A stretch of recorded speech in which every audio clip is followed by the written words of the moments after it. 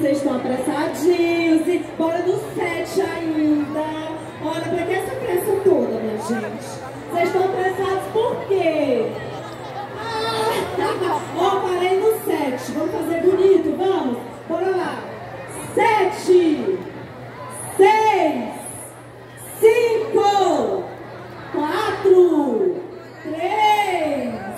Dois.